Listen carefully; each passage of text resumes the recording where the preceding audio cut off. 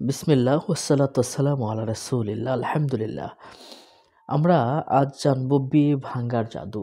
এই জাদুটা কিন্তু আমাদের সমাজে অহরহই ঘটছে। কাউকে বিয়ে ভাঙ্গা বা আটকে রাখার জন্য তাবিজ বা জাদু করলে সাধারণত এরকম দেখা যায়, বিয়ের প্রস্তাব আসে ঠিকই সব কিছু ঠিক থাকলেও পছন্দ হয় না। সব কথা পাকা হওয়ার পরেও হয়তো ছেলে বেঁকে বসে নয়তো মেয়ে কিংবা কোনো পরিবারের একজন অভিভাবক অনর্থক কোনো কারণ দেখিয়ে বিয়ে ভেঙে দেয়। মেয়েদের ক্ষেত্রে দেখা যায় অনেক গুণবতী হওয়া সত্ত্বেও কোনো প্রস্তাব আসছে না। কেউ প্রস্তাব দিলেও পছন্দ হওয়ার বদলে তাকে খারাপ লাগতে থাকে। ছেলের অতি যতই ভালো হোক, বিয়ের প্রস্তাব শোনার পর থেকে তাকে বিরক্তিকর মনে হয়। অনেক সময় এমন বিয়ের ব্যাপারে আলোচনা করার জন্য যে আসে, তার অস্থির লাগে, দম বন্ধ হয়ে আসে বা অকারণে খুব খারাপ লাগে, যার ফলে কথাবার্তা পাকা না করেই সে ফিরে যায়। তো এইরকমটা হলে মনে করবেন আপনার বিয়ে ভাঙ্গার ব্যাপারে জাদু করা হচ্ছে বা তাবিজ করা হচ্ছে। তারা আসুন আমরা কিছু লক্ষণের কথা জেনে নেই যে বিয়ে ভাঙ্গা হচ্ছে কি না। বিয়ে ভাঙ্গার জাদুর কিছু লক্ষণ আছে, কি করে বুঝবেন? এক নাম্বার হলো মাথা ব্যথা, ওষুধ খেয়েও তেমন ফায়দা না হয়। অর্থাৎ আপনি ওষুধ খাচ্ছেন, তারপরও মাথা ব্যথা কমছে না, সারাক্ষণ মাথা ব্যথা লেগেই থাকে। তাহলে মনে করবেন জাদু বা তাবিজ করা হয়েছে। এক্ষেত্রে কি করবেন আমরা কিন্তু বলে দিব। দেখুন, প্রায় সময় মানসিক অশান্তিতে থাকা, বিশেষত বিকেল থেকে মাঝরাত পর্যন্ত। যদি অশান্তিতে থাকে, তাহলে মনে করবেন জাদু করা হয়েছে। একটুতেই রেগে যাওয়া। চার নাম্বার হলো, ঘুমের মধ্যে শান্তি না পাওয়া। ঠিক মতো ঘুমাতে না পারা আর ঘুম থেকে ওঠার পর অনেকক্ষণ কষ্ট হওয়া। দেখুন, তারপর প্রায় সময় কিন্তু পেট ব্যথা থাকা। প্রায় সময় পেট ব্যথা থাকা। এই এই রকম রোগে আক্রান্ত ভাঙ্গার জাদুতে আক্রান্ত রোগীর প্রায় সময় পেটের মাঝে ব্যথা থাকবে। কারণে, অকারণে ব্যথা থাকবে ব্যাক পেন বিশেষত মেরুদণ্ডের নিচের দিকে ব্যথা হওয়া, অর্থাৎ পিছনের দিকে মেরুদণ্ডের নিচে ব্যথা হওয়া, এটাও কিন্তু জাদুর একটি আলামত। বিয়ের কথাবার্তা শুরু হলে অসুস্থ হয়ে যাওয়া, এমনটা কিন্তু অনেক সময় হয়ে থাকে। বিয়ের আলাপ চলছে, এদিক দিয়ে উনি অসুস্থ হয়ে গেছেন, সপ্তাহের পর সপ্তাহ অসুস্থ।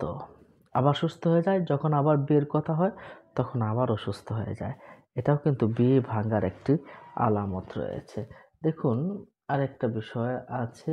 বিয়ের প্রস্তাবদাতাকে খারাপ মনে হওয়া, তার ব্যাপারে অনর্থক সন্দেহ সৃষ্টি হওয়া, বিশেষ কোনো সমস্যা না থাকা সত্ত্বেও বিয়ের ব্যাপারে একদম আগ্রহ না থাকা বিয়ে আটকে রাখার জাদু করতে বেশিরভাগ ক্ষেত্রে সরাসরি জিনের সাহায্য নেওয়া হয়। এজন্য লক্ষণগুলোর পাশাপাশি জিন দ্বারা আক্রান্ত হওয়ারও কিছু লক্ষণ মিলে যেতে পারে।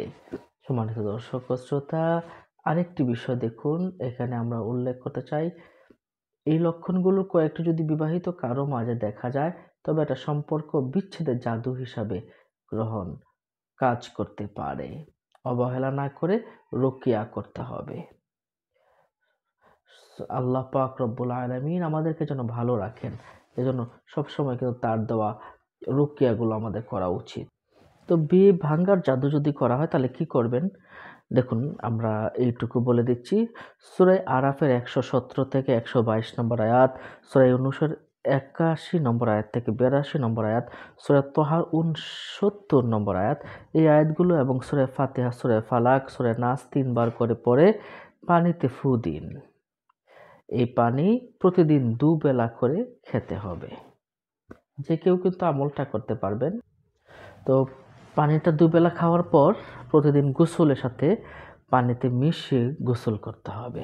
এই কাজগুলো সাত দিন করবেন। রুকিয়ার পানি যদি শেষ হয়ে যায়, তবে এর বোতলের পানিতে উল্লিখিত আয়াতগুলো পরে আপনি ফু দিয়ে নিলেই হবে। প্রতিদিন অন্তত দুই ঘণ্টা রুকিয়া শুনতে হবে। আয়াতুল কুরসি এক ঘণ্টা, তারপর সুরা এখলাস সুরে ফালাক, সুরে নাস রুকিয়া এক ঘণ্টা শুনবেন। এটা এক মাস করবেন, জিনের সমস্যা একটু বেশি অনুভব হলে। এর সাথে সুরে ইয়াসিন সফা দুখান, জিনের রুকিয়া অন্তত একবার শুনবেন।